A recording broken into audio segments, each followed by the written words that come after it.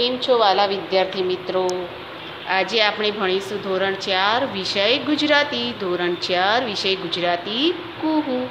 અગાઉના લેક્ચરો દરમિયાન આપણે અધૂરો પાઠ મૂકેલ, પાઠ બે, તેને તે ઉગશે, તેને તે ઉગશે. એનો ભાગ આજે આપણે પાંચ જોઈશું, ભાગ પાંચ જોઈશું. અગાઉ ચાર બાળક ભણી ગયા, એનું હોમવર્ક પણ આપણે ફરજિયાત કરેલ છે. આજે આપણે જોઈશું ભાગ પાંચ. વાંચો અને જવાબ લખો. આપણે સર્વનામ વિશે મેં તમને કીધું. નામને બદલે વપરાતા શબ્દ તે, હું, તને, મને. આપણે તેને, તેઓની, એ બધા સર્વનામ કહેવાય. તો પહેલું વાક્ય જુઓ. કલમલ કબૂતર ગુગુ કરે છે. કલમલ નામનું કબૂતર છે તે ગુગુ કરે છે. તે ચણ ચણે છે. પાછું અહીં કલમલ લખાય નહીં. તો આ તે શું કહેવાય? સર્વનામ. અહીં તે એટલે કોના માટે? કલમલ માટે જ વપરાય કે આપણા માટે તો વપરાય નહીં. કલમલ કબૂતર ગુગુ કરે છે. હવે તે ચણ ચણે છે. તો ફરીથી એ લખાય, કલમલ ચણ ચણે છે.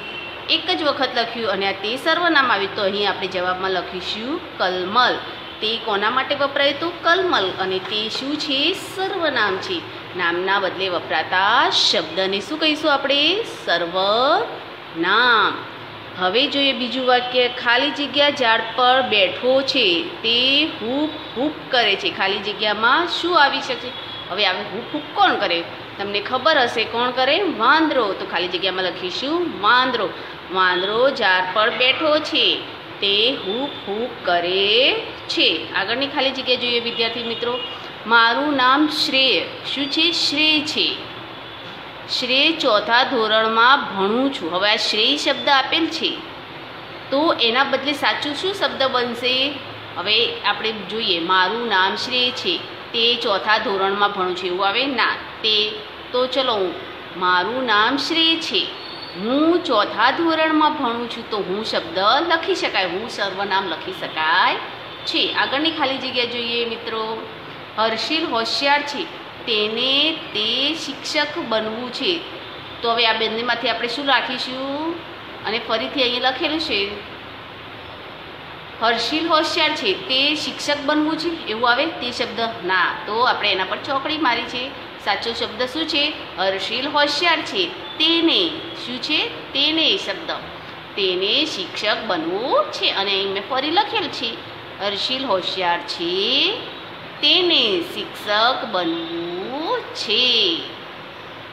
હવે આગળનું પાંચમા નંબરનું વાક્ય જોઈએ. વિદ્યાર્થી મિત્રો, ખૂબ ધ્યાન આપજો. આ સર્વનામો છે. આપણા રાષ્ટ્રપિતાનું નામ મોહનદાસ ગાંધી છે. તેઓ તેમને સૌ મહાત્મા ગાંધી તરીકે ઓળખે છે. તેઓ હંમેશા સાચું બોલતા. હવે આ તેઓ છે, એની જગ્યાએ કોણ સાચું બોલતું? બીજા વાક્યમાં તેમના નામને બદલે કયો શબ્દ વાપરાયો છે?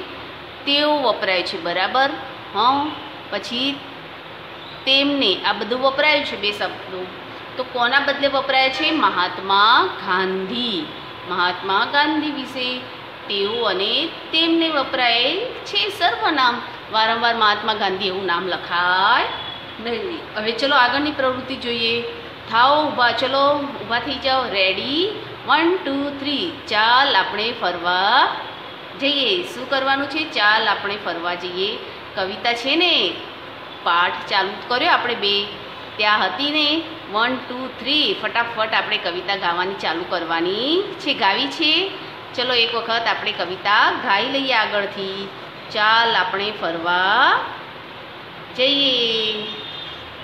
ચાલ, આપણે ફરવા જઈએ. ઝાડ, પહાડને મળવા જઈએ. મજા આવે છે ને વારંવાર કવિતા વાંચવી? ચાલ આપણે ફરવા જઈએ. વારંવાર કવિતા વાંચવાની કહીએ તો બહુ મજા આવે. પણ જ્યારે સવાલ જવાબ મોઢે કરવાનું કહીએ તો કેવું થાય? કવિતા તો મજા પડી જાય. ચાલ આપણે ફરવા જઈએ. હરણા સાથે હળવા જઈએ. ઝરણા સાથે દોડી જઈએ. ફૂલડા સાથે રમવા જઈએ. ચાલ આપણે રમવા, ફરવા જઈએ. રમવા જઈએ બધું જે તમારે રમવા ને પછી આપણે એમ એમ મૂકવાનું હો. ઘણી વખત ચાલો આપણે ભણવા બેસીએ. આંબા ડાળે ઝૂલવા જઈએ નદી કિનારે, ભમવા જઈએ, હામ ભરીને તરવા જઈએ. ચાલ આપણે ફરવા જઈએ. હવે આગળ જોઈએ વિદ્યાર્થી મિત્રો. સરસ મજાની ગીત ગઈ લીધું ગીતનું. હવે પાછા આવી ગયા આપણી અભ્યાસ ઉપર. પહેલા ફકરાને આધારે બીજા ફકરાની ખાલી જગ્યાઓ પૂરો. હવે અહીં બે ફકરા આપેલા છે. એક ફકરો વાંચવાનો છે, એમાંથી આપણે સર્વનામો કઈ રીતે મૂકીશું એ જોવાનું છે. જુઓ. એક તપેલી લો. તપેલીમાં એક ગ્લાસ પાણી રેડો. જુઓ. અહીં તપેલી શબ્દ વાપરી જ દીધો છે પહેલાં. તો વારંવાર તપેલી શબ્દની જગ્યાએ આપણે સર્વનામ મૂકવાના રહેશે એમ કહીએ, મારું નામ રાજ છે. બરાબર? રાજ રમવા જઉં છું. એમ લાગે, સારું, હું રમવા જઉં છું. એમ. તપેલીના બદલે સર્વનામો મૂકવાના છે. એક તપેલી લો, તપેલીમાં એક ગ્લાસ પાણી રેડો. તપેલીમાં એક ચમચી ખાંડ નાખો, લો. પાછું તપેલી આવી ગયું. ખાંડને હલાવી ઓગાળો. એક લીંબુ કાપી, લીંબુનો રસ તપેલીમાં જો. પાછું આવ્યું કે નહીં? તપેલીમાં નાખો. તપેલીમાં એક ચપટી મીઠું નાખો. તો આ રીતે વંચાય ના. તપેલી તપેલી વારંવાર કે તપેલી લાવો. તે તપેલીમાં લીંબુ કાઢો. તપેલીમાં રસ બનાવો. એમ કહેવાય. આપણે પછી શું કહીશું? તપેલીની જગ્યાએ તેમાં રસ બનાવ્યો કે તેમાં લીંબુ નીચોવી. એમ કહીએ છીએ કે તપેલીમાં લીંબુ નીચોવી વારંવાર તપેલી શબ્દ વાપરતા નથી. હવે એ જ ફકરાને આધારે બીજા ફકરામાં આપેલ છે ખાલી જગ્યાઓ. એ જોવાની છે. બીજા ફકરામાં શું મૂકવાનું છે? સર્વનામ. બીજા ફકરામાં શું મૂકવાનું છે? સર્વનામ. આ તપેલી એક પહેલાં વપરાઈ ગઈ એટલે પછી બીજી વખત તપેલી ના કહે એના બદલે તે, તેમાં એવા શબ્દો વપા- વાપરવામાં આવે છે. તો એ બધા સર્વનામ છે. તો આપણે તપેલી શબ્દ કાઢી અને એમાં વાક્ય વ્યવસ્થિત બેસે એવું સર્વનામ વાપરવાનું છે. તો ચલો જોઈએ. એક તપેલી લો. તપેલીમાં એક ગ્લાસ પાણી રેડો. તો તપેલીની જગ્યાએ શું લખીશું? તેમાં એક ગ્લાસ પાણી રેડો. ખાલી જગ્યા એક ચમચી ખાંડ નાખો. તપેલીમાં ખાંડ ઓગાળો. એમ કહીશું, ના. તેમાં એક ચમચી ખાંડ નાખી, ઓગાળો.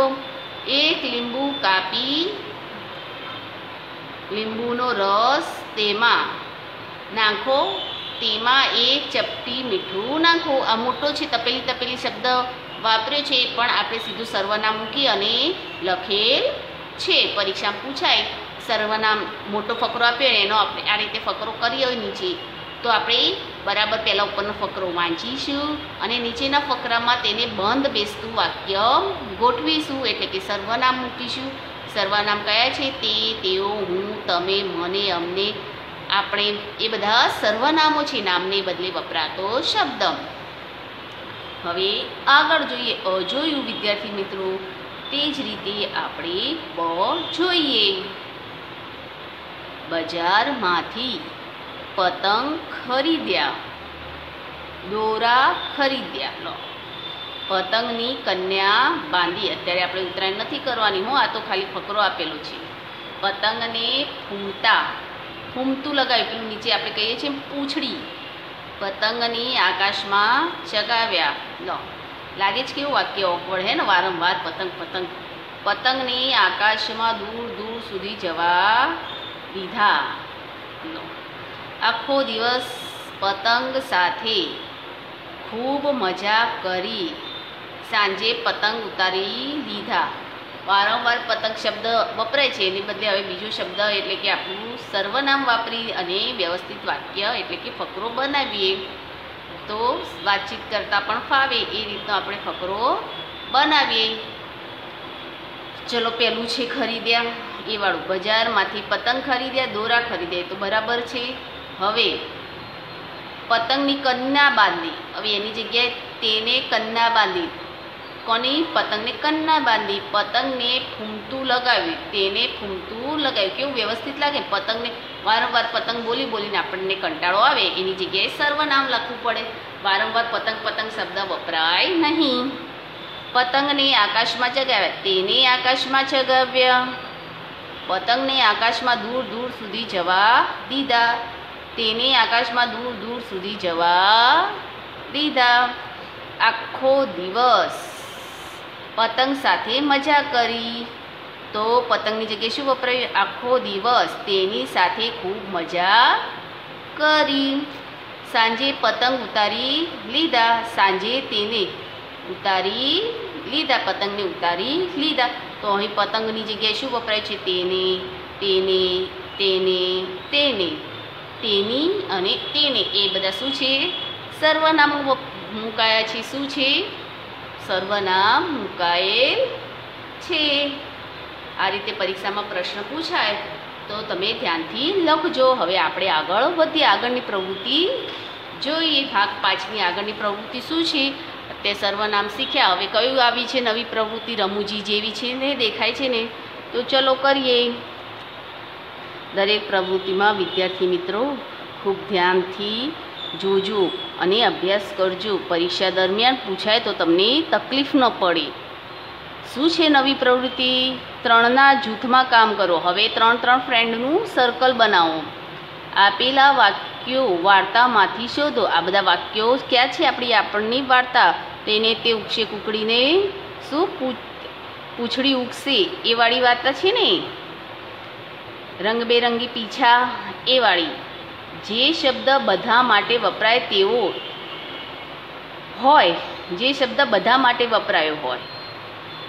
તેની નીચે વાર્તામાં લીટી કરો. હવે ત્યાં વાર્તામાં આપણે લીટી કરવાની છે.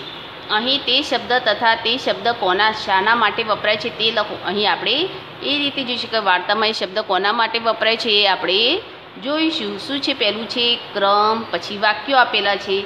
બધા માટે. પછી પાઠમાં કોના માટે વપરાયો છે એ શબ્દ લખવાનો છે. આપણે રોજબરોજના કામોમાં, વાતોમાં શબ્દો વાપરીએ છીએ આ બધા. પરંતુ આપણે અત્યારે જે આ શબ્દો વાપર્યા છે, તે વાર્તામાં કઈ જગ્યાએ કોના માટે વપરાય છે? કુકડા, કુકડી, કાબર, કબૂતર, પછી કાગડા માટે. જેના માટે વપરાય હોય, એના માટે લખવાના છે. તો ચલો, પહેલું વાક્ય તમે જોશો, એટલે તમને બાકીના વાક્યો ખબર પડી જશે તો ચલો પહેલું વાક્ય જોઈએ. શું છે? એક નંબર, એમને ચણ વીણતા શીખવવામાં હોશિયાર. એમને તો ચણ વીણવામાં શીખવવામાં જ હોશિયારી છે. કોના માટે છે? હવે આ એમને શબ્દ. એટલે કે બધા માટે. કોણ બધા? એટલે કુકડીઓ. બધી જે હતી કુકડી, એ કુકડી નહીં, પણ કુકડીનું ટોળું કે એમને ચણ ચણવામાં જ હોશિયાર હોય. તો આપણે બધા માટે વપરાય, એટલે એમને અને કોના માટે વપરાયો છે? કુકડી માટે. હવે આગળ જોઈએ. એ ઉઠીને કુકડીની પાસે આવી. રોજ કોણ આવે છે? હવે આપણે એ એ છે. એમ પણ આપણને ખબર છે, અહીં એ વહુમાં કોણ આવ્યું હશે? તો આપણે એ બધા માટે એ. તો કાબર કાબર ઉઠીને કુકડીની પાસે આવી. થયું સરસ રીતે વાક્ય. એની જગ્યા, એટલે કે આ શું છે? સર્વનામો છે. એની જગ્યાએ આપણે શું મૂક્યું હતું? કાબર. તો ખબર પડી ગઈ ને? હવે આગળનું વાક્ય જોઈએ. અહીં જમીન પર આપણે રમીએ. તો હવે આપણે લીધું છે. તો અહીં જમીન પર આપણે કુકડીઓ મૂકીએ. કુકડીઓ રમીએ. તો આ બધું વાક્ય કોના માટે વપરાય તો કુકડીઓ માટે. એ કુકડી નહીં, બધી કુકડીઓ જમીન ઉપર રમતી વંડી ઉપર ચડી શકે તેવી ન હતી. આગળ શું કામ છે તારે?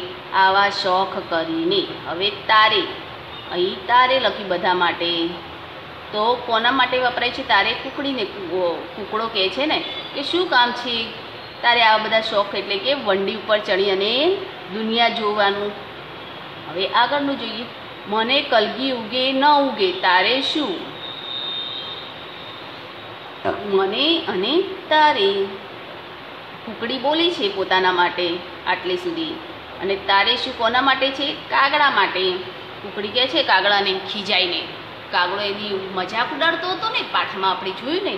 કે છે કે તમને ક્યાં કલગી ઉગશે ને રંગબેરંગી પીછા આવશે ને તમે ક્યાં વંડા ઉપર વંડી ઉપર ચડીને આકાશ જોશો?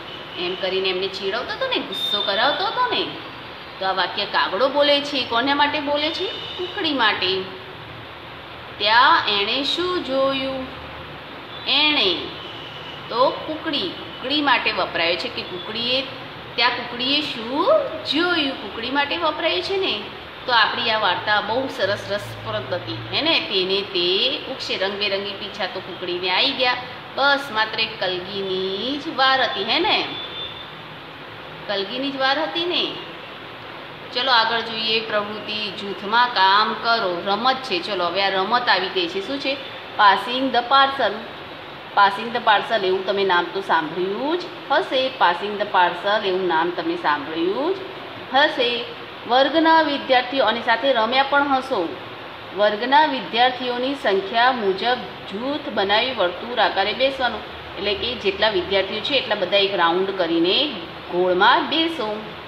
એક વિદ્યાર્થી ઢોલ કે અન્ય કોઈ સાધનની મદદથી સંગીત વગાડશે એટલે કે અવાજ કરશે ઢમઢમનો.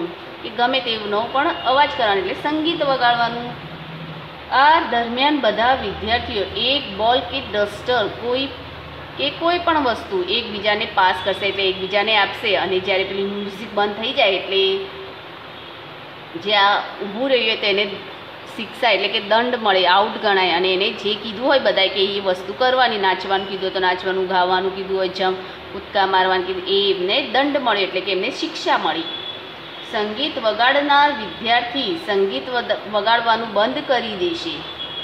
એક વખત બંધ કરે, ત્યારે આ વખતે બોલ કે ડસ્ટર જેના હાથમાં હોય તે વિદ્યાર્થી બોલ કે ડસ્ટર આપનાર મિત્ર સાથે ઊભો થશે. બંને જણાએ ઊભા થઈ જાઓ. બેને ભેગા મળીને શું પરીક્ષ મળે છે. જોઈએ.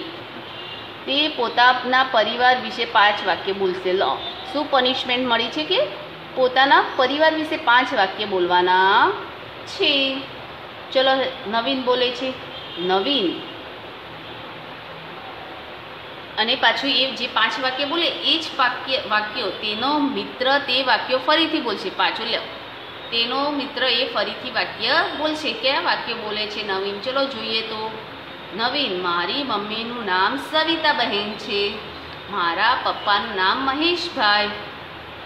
હવે તમે જે નામ લખવું હોય એ લખી શકો. છો. હવે નિમિષા બોલે છે. શું કહે છે નિમિષા એની ફ્રેન્ડ આ નવીન છે. તેની મમ્મીનું નામ સવિતાબેન છે. એ સામેવાળાનું કીધું એટલે તેની પોતાના માટે મારું વપરાય. સામે વ્યક્તિને બતાવવાનો, તેની, તેનો, તેનું, તેમને, તેમના, એ રીતે વપરાય. તો સામેવાળા નવીનની મમ્મીનું નામ દે છે તો થોડી એમ કહેશે કે મારી મમ્મીનું નામ સવિતાબેન છે. તો એ શું કહેશે કે આ નવીન છે પણ તેની મમ્મીનું નામ શું છે? સવિતાબેન છે. તેના પપ્પાનું નામ શું છે? મહેશભાઈ. જે તમે લખ્યું હોય એ લખી શકો. છો આ પરિચય દરમિયાન પરિવારના જે સભ્યોનો પરિચય આપવામાં આવે છે, ખાસ ધ્યાન રાખજો, જે સભ્યોનો પરિચય આપવામાં આવે છે, તે વ્યક્તિના નામને બદલે તે, તેને અને તેમને વગેરે જેવા શબ્દો આવે, ત્યારે બધા વિદ્યાર્થીઓ તાલી પાડવાની રહેશે. એ પોતાનો પરિચય આપે કે મારા પપ્પાનું નામ જે હોય તે, બરાબર? તે અહીં નોકરી કરે છે, જે તે ડૉક્ટર છે, તે શિક્ષક છે. તેમને રો, તેમનો સ્વભાવ સારો છે. એ રીતે તે, તેને અને તેમને એવા શબ્દો આવે એટલે શું કરવાનું? તાળી પાડવાની. કોણ જ્યારે નવીન પોતાના પરિવારનો પરિચય આપતો હોય ત્યારે, ત્યારબાદ પહેલાંની જેમ જ રમત પાછળ આગળ વધારવાની છે. એને પનિશ મળી, તમે તાલી વગાડી, હવે પાછું આગળ વધ- જવું પડશે કે નહીં? ત્યાં ત્યાં ઊભું તો રહેવાય નહીં. આ રીતે આપણે પાસિંગ ધ પાર્સલ તમે રમ્યા તો હશો જ. ચલો, હવે પાછું શું આવ્યું? મોટેથી ગાવાનું છે ગીતો. કયું ગીત છે? વાંદરાભાઈ તો બોલે બોલે. શું બોલે છે? હુપ હુપ હુપ હુપ હુપ હુપ. જોર જોરથી. ઘરમાં ગજવવાનું નથી. ધીમેથી વાંદરાભાઈ તો બોલે હુપા હુપ હુપા હુપ કરે છે ને એ બોલવાનું. ઝાડ, પાન ખાય, તોડે તોડે હુપ હુપ હુપ હુપ હુપ હુપ આ રીતે આપણે કવિતા ગાવાની, એટલે કે આ ચાર વાક્યો છે, એ મોટેથી ગાવાના છે. મોટેથી ગાવાના એટલે કે બાજુવાળાના ઘર સુધી સંભળાય નહીં. આપણા ઘરમાં મમ્મી પપ્પા સાંભળી શકે એ રીતે ગાવાનું છે ને આપણે હુપ હુપ હુપ કરી વાંદરા જેવું નાચ એટલે કે વાંદરા જેવી એક્ટિંગ એટલે કે વાંદરો શું કરે, કેવું વર્તન, કેવું નાચે છે, એવું કરવાનું છે. વાર્તા મોટેથી વાંચો. અહીં આપેલો છે ફકરો અને પ્રશ્નોના જવાબ લખવાના છે. પરીક્ષા દરમિયાન આવા ફકરાઓ પૂછાય. પહેલાં તો તમે શાંતિથી એ ફકરો વાંચવાનો, પછી એ ફકરામાં શું વાર્તા છે એ સમજવાની અને પછી જ તેના પ્રશ્નના જવાબ લખવાના. વાર્તા વાંચવાની, પછી તેને સમજી અને પછી જ તેમાંથી પ્રશ્ન પૂછાયા હોય એના જવાબ લખવાના. ચલો આપણે એ વાર્તા વાંચીએ, પછી એના જવાબ આપણે લખીશું. પહેલું શું છે? વાંચો વાર્તા. કાગડીએ પૂરી પગ નીચે દબાવી. હવે કોઈ કાગડીને મળી હશે પૂરી, તો એ તો ચાચમાં ભરાઈ ન રાખે. એને શું કર્યું? પગ નીચે દબાવી. કાગડીએ આંખ એકવાર ડાબા કાગડું તરફ અને બીજી વાર જમણા કાગડું તરફ ફેરવી. પાછી એટલી કાગડી નથી બેઠી. કાગડી બેઠી હતી તો એની એક બાજુ કાગડું, બીજી બાજુ પણ કાગડું અને પૂરી દબાઈને બેઠી હતી. બે બાજુ નજર રાખતી હતી કે કોઈ આવીને તરફ મારી લઈ ન જાય. એટલે આપણે વાર્તા વાંચી છે ને, ખબર છે ને કાગડી ચાચમાં પૂરી રાખીને બેઠી હોય છે અને શિયાળ આવે છે કેટલું સરસ મસ્ત ગીત ગાય છે. ત્યારે કાગડી અભિમાનમાં આવીને ગીત ગાવા લાગે છે પૂરી નીચે પડી જાય છે, શિયાળ લઈ જતું રહે છે, એ જ એ જ જેવી વાર્તા છે, એનાથી થોડી અલગ છે. હવે કાગડી છે, એના પૂરી મળી તો એને પગમાં જ દબાવી અને જઈને ડાળી પર બેસી ગઈ છે. તો શું છે?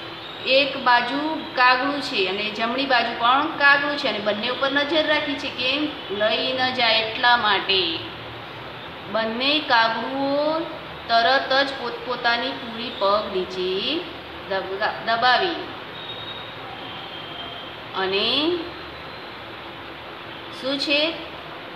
આ કાગડા અને શિયાળવાળી વાર્તા જ છે. તો પછી ત્રણેયને મળી હતી. કાગડીને પણ મળી હતી અને એની બાજુ બી બેઠા હતા. કાગડુઓ એમને પણ મળી હતી. તો ત્રણેય જણાઓએ શું કર્યું હતું? પગ નીચે પોતાની પૂરી દબાવી હતી. પછી ચારે જણ જોર જોરથી કા કા ગાવા લાગ્યા. પછી જે બધા હતા કાગડાઓ કાગડી કાગડું બધા, એ બધા જોર જોરથી ગાવા લાગ્યા. તો કોણ કોણ હતું? શિયાળ, શિયાળવી અને શિયાળવું. લો. ત્રણેય કાન દબાવીને ઊભી પૂંછડીએ નાઠા નીચે ત્રણે ત્રણેય જણ ઊભા હતા. એમને એમ થતું હતું કે ક્યારે આ લોકો ઊભા થાય અને એમની પૂરી નીચે પડી જાય ને અમે ખાઈ લઈએ ત્રણેય શિયાળ. પણ કાગડાઓ તો મંડ્યા જોર જોરથી કાઉ કાઉ કાઉ કરવા. કાવ કાવ કરવા. એટલે શું થયું? પેલા લોકોને કાવ કાવ શિયાળવાઓને કાવ કાવ સાંભળવાનું ગમ્યું નહીં, એટલે ઊભી પૂછડીએ ભાગ્યા. શું છે? જોયું ને કાગડીને પૂરીવાળી વાર્તા? આપણે અગાઉ ભણેલા છીએ. આ વાર્તા તો આપણને ખબર જ છે. કાગડી કાગડા જોડે પૂરી હોય છે, શિયાળ આવે છે, લલચાવીને લઈ જાય. એમાં શિયાળ લઈ જાય છે, પણ અહીં આ, આપણી આ વાર્તામાં કાગડાઓ પાસેથી શિયાળો શિયાળવા પૂરી લઈ જતા નથી, ઉપરથી કંટાળીને ભાગી જાય છે એમનો અવાજ કાવ કાવ સાંભળીને ભાગી જાય છે એટલે ત્રણેય કાગડાઓ જોડે પોતપોતાની પૂરી તો બચી જ જાય છે. અને પછી શાંતિથી એ લોકોએ ખાધી હશે. કેમ કે શિયાળ ભાગી ગયા એટલે પછી એમને શિયાળની બીક ન રહી. કદાચ કે જો પૂરી પડી જાય તો પાછી શિયાળવા લઈ જાય. પણ શિયાળ જ ભાગી ગયા તો પછી પૂરી શાંતિથી બેસીને ખાધી. કોણે? કાગડાઓએ મહેફિલ જમાવેલી શિયાળવાઓની મહેફિલ ભાગી ગઈ કાગડાઓનો અવાજ સાંભળી. હવે એના લગતા આપણે પ્રશ્નના જવાબ જોઈએ. હવે શું પૂછ્યું છે પ્રશ્નોમાં? ચલો જોઈએ તો પહેલો પ્રશ્ન કાગડાઓવાળામાંથી શું પૂછ્યો છે? કાગડા પરિવારના સભ્યો કેટલા? કયા કયા હતા? કાગડી, કાગડો કાગડો. પૂરી કુટુંબના સભ્યોનું નામ કાગડી, કાગડો ને કાગડું. કેટલા સભ્યો હતા? ત્રણ. ત્રણેયના નામ. ખોટો વિકલ્પ છે કો. કાગડો, કાગડી અને બંને કાગડું. જે એમનો ફેફિલ, મહેફિલ હતી. જેમની પરિવાર હતો. જોર જોરથી ગાવા લાગ્યા કે ગાવા લાગ્યું એમ લખાય? ના. ગાવા લાગ્યો એવું પણ ન લખાય. શું લાગ્યું? ગાવા લાગ્યા. એક કાગડો, એક કાગડી અને બે કાગડું એમના બચ્ચા એટલે કેટલા થયા? ચાર. કેટલા થયા? ચાર. હવે ખબર પડી ગઈ ને કાગડાવાળી વાર્તા? મજા આવી ને? કાગડાવાળી વાર્તા સાંભળીને હવે આગળની પ્રવૃત્તિ જોઈએ. શું છે? હસો. લ્યો ચલો, જોક્સ આવ્યો છે. શિક્ષક કયું પક્ષી ઝડપથી ઉડે છે? લો. અહીં આપણે પક્ષીનું નામ આપવાનું છે. હવે તમારા જેવો કોઈક રમૂજી વિદ્યાર્થી ઊભો થયો જવાબ આપતા. જેને ઉતાવળ હોય એ ઉડી જાય. લો અરે ઉડી જવા નથી કીધું અહીં. પક્ષીનું નામ આપવાનું કીધું છે. પણ રમૂજી વિદ્યાર્થી શું કહે છે? કે જેને ઉતાવળ લાગી હોય એ ફટફટ ઉડીને જતું રહે. પણ આપણે અહીં શું આવે? કોણ ફટાકથી ઉડી જાય? એ પક્ષીનું નામ લખવાનું હતું. શિક્ષકે પૂછ્યું. ત્યારે જેને ઉતાવળ હોય એ રીતે જોક્સ બનાવીને ઉડાડી દીધું પક્ષીને. હવે આગળ જોઈએ. લગભગ સરખા એટલે સરખા એટલે શું? સમાનાર્થી શબ્દ અથવા શબ્દાર્થ કહીએ. ચણ એટલે પંખીઓને ખાવા માટે નંખાતું અનાજ. આ એક જ લીટીમાં લખવાનું. પછી બીજા બીજા નંબરનો શું છે? બિચારું એટલે દુઃખી બિચારું એટલે આ એક નંબર કહેવાનું અને બીજો નંબર. પછી લી, ત્રીજો નંબર. લી એટલે અલી. અલી આપણે કહીએ છીએ ને, કહીએ જ છીએ. આપણે મોઢે મમ્મીને, મમ્મી મમલી અથવા અલી કહીએ જ છીએ. પછી આ ચાર નંબરનું ભટકવું એટલે અથડા, ભટકાવવું, ભટકવું નહીં, ભટકાવવું. સામેવાળાને આપણે ભટકાઈએ એટલે અથડાવવું. રાજીના રેડ, પાંચ નંબર. ખૂબ ખુશ થવું. મજા આવી જાય જ્યારે જોતું મળી જાય ત્યારે. નિહાળવું, ધારી ધારીને જોવું. પછી પોરસાવું, આનંદથી ઉભરાવું. જુસ્સો ચડી જાઓ, આમ જોમ ચડી જાઓ કે હાટ, હું કરી દઈશ એમ. ખી ચીડ અથવા ગુસ્સો, ચીડ ચડી ગઈ. દી એટલે દિવસ. જોડીની જોજો દિવસની. પાર્ટી એ તો સ્લેટ બધાને ખબર છે. રડ, હાવ રડ જેવું છે. જીદ અને હટ. આપણે હટને જીદ કરીએ ને કોઈક વખત. તો આ બધા શું હતા? શબ્દાર્થ. અહીં આપણો આ પાઠ બે પૂરો થાય છે સંપૂર્ણ રીતે એના આપણે પાંચ ભાગ જોયા. ચાર ભાગ સુધી આપણે લેસન કર્યું. હવે આજે આપણે પાક પાંચનું લેસન મેળવી લઈએ. ચલો, શું છે જોઈ લઈએ. આપણે ભાગ ચાર જ્યાં સુધી લખ્યો છે એના નીચેથી ચાલુ કરીશું. ભાગ પાંચનું પહેલાં લખીશું, વાંચો અને જવાબ લખો. એનું આ કલમલ કબૂતરવાળું ભૂલથી રહી ન જાય. ભૂલથી ન રહી જાય ધ્યાનથી આ વાક્ય પહેલું એક લખીશું અને પછી પાછળ પાંચે ખાલી જગ્યાઓ લખીશું. પછી થાવ ઊભા એ આપણે કરવું નથી. પહેલો ફકરો અને બીજા ફકરાવાળું ખાલી જગ્યાઓ લખીશું. સરસ રીતે આ રીતે આપણે ફકરા લખીશું, ખાલી જગ્યાઓ કરીશું. પછી આગળનો છે જૂથમાં બેસીને કરો, આપણે આ લેસન કરીશું. જૂથમાં બેસીને કરો, આપણે આ લેસન કરીશું. પછી જૂથમાં પાસિંગ ધ પાર્સલ, એ કરવું નથી. મોટેથી ગાઓ, એ પણ કરવું નથી. બધાના કાન ફોડવા નથી આપણે.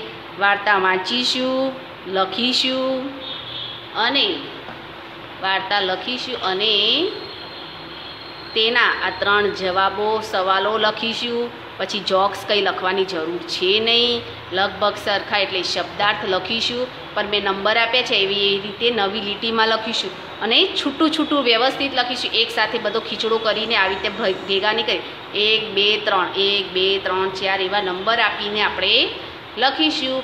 તો અહીં આપણે ભાગ પાંચ સુધી ફરજિયાત લેસન કરવાનું છે. જ્યારે સ્કૂલો ખુલશે, પરીક્ષા આપવા આવશો ત્યારે તમારી નોટ ચેક કરવામાં આવશે, એના માર્ક્સ મૂકવામાં આવશે. જો નહીં લખેલ હોય, તો નોટ ચોપડાના માર્ક મૂકવામાં આવશે કે ગુણ મૂકવામાં આવશે નહીં. માટે ખાસ પરીક્ષા દરમિયાન ચોપડા બતાવવાના છે. દરરોજનું લેસન ફરજિયાત કરવાનું છે. તો અહીં આપણો પાક પાંચ પૂરો થયો. પાઠ બે સંપૂર્ણ રીતે પતી ગયો અને લેસન પણ કરજો. આવજો વિદ્યાર્થી મિત્રો. હવે મળીશું ભાગ એટલે કે નવા પાઠમાં કયા? પાઠ ત્રણમાં આવજો.